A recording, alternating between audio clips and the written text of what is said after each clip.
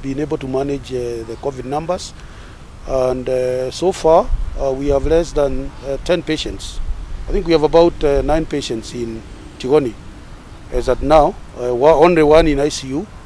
And we are hoping that if this trend continues within the next 10 days, we may not have a COVID patient in our facilities.